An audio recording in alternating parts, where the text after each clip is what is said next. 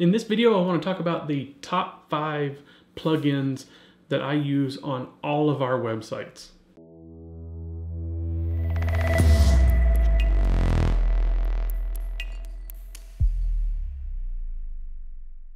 So we build the plugins that we use for the most part. Um, we don't really build plugins that are already built and work really, really good. There's no sense in it.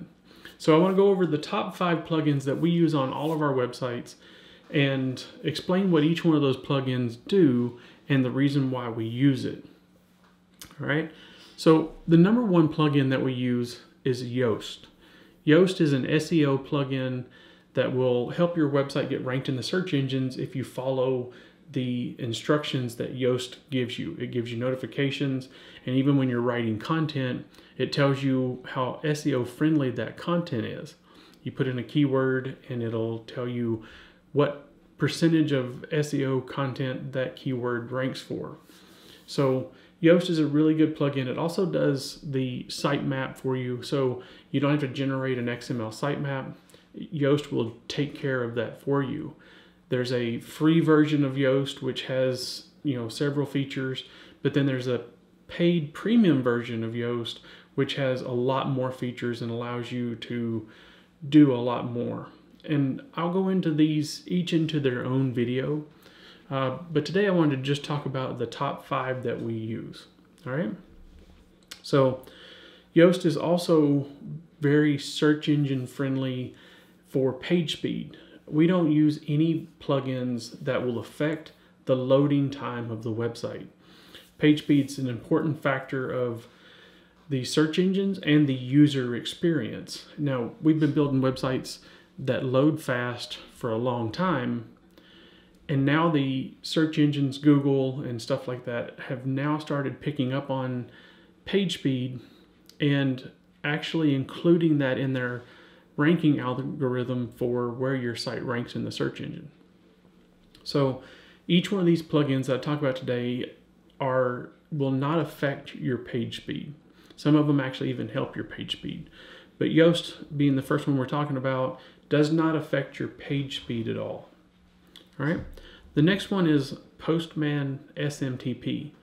Now, your website is designed to send email from the PHP server, which doesn't work very well.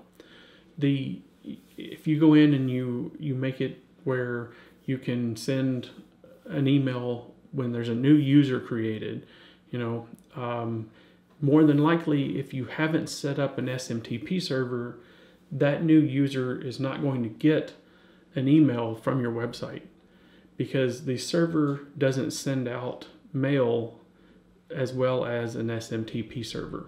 So with Postman SMTP, you can use you know services like G Suite, um, Gmail.com, or you know Outlook. You can use the mail services to send mail through the SMTP server. And I've got a video on doing you know setting up DKIM and DMARC with G Suite, which is what we recommend for the most part for email. So we use G Suite for our clients and we set up their website with Postman SMTP configured with Gmail so that when an email is sent from the website, the recipient gets the email because all the pieces are correct, if that makes sense. So the Postman SMTP again does not affect the front end of the website, does not affect the loading times of the website. The Postman SMTP is very well built and does everything that we need it to do. So the third plugin that we use is a plugin called CAOS. It's a Google Analytics plugin, and I'll put the links to their um, to all these plugins to their plugin page and their main website. And CAOS plugin is a Google Analytics plugin that doesn't affect page speed. Now, it's kind of scary to say that Google provides Google Analytics, and Google Analytics affects page speed. Not by much, one or two points, but it's still, when you do a page speed check, you still get dinged for having Google Analytics on your site. And the reason that is, is because analytics is controlled by a JavaScript. And if the JavaScript's not deferred, then you get dinged. If the JavaScript is not hosted in the same place that your other JavaScript is hosted at, you get dinged. And if it's not on a CDN, you get dinged. So CAOS plugin allows you to install Google Analytics and host your JavaScript, the analytics file, locally, or you can even host it in a CDN, which is what we do for all of our sites. So the CAOS plugin is a great plugin. All right. The fourth one that we're going to talk about is W3 Total Cache. I'm not a huge fan of caching plugins, especially when you're in the development stage, because developing a site and the site being cached is can can be a major headache. So typically we build a site, once the site's up and running, then we use W3 Total Cache.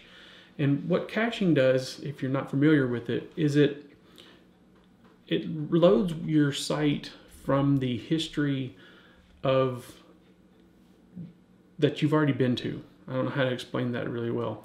It, it if if you've already been to that site, it, it brings up that same page.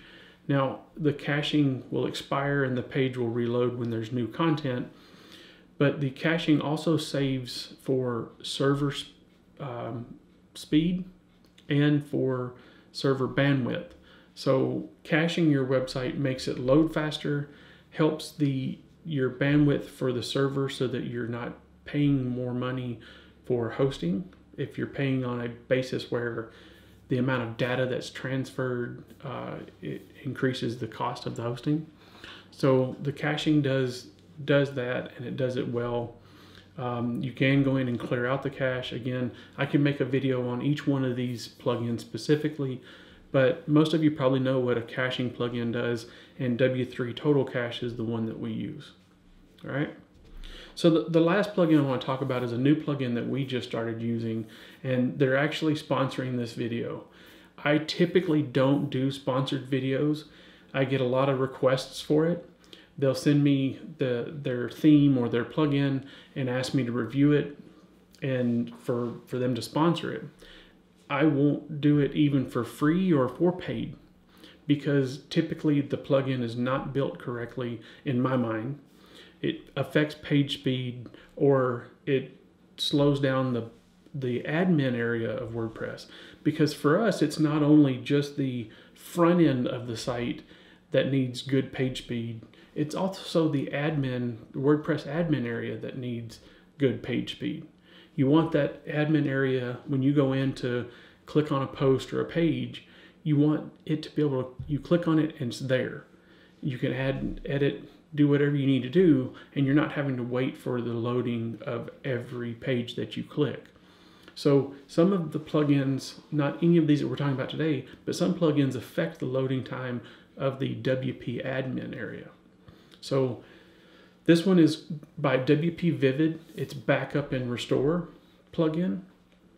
And I back up a lot of sites on a regular basis, too many really and it's always a manual process to log into either log into the site via FTP or SFTP and download the files or zip it and download the files and then log into PHP MyAdmin and back up the database through PHP admin.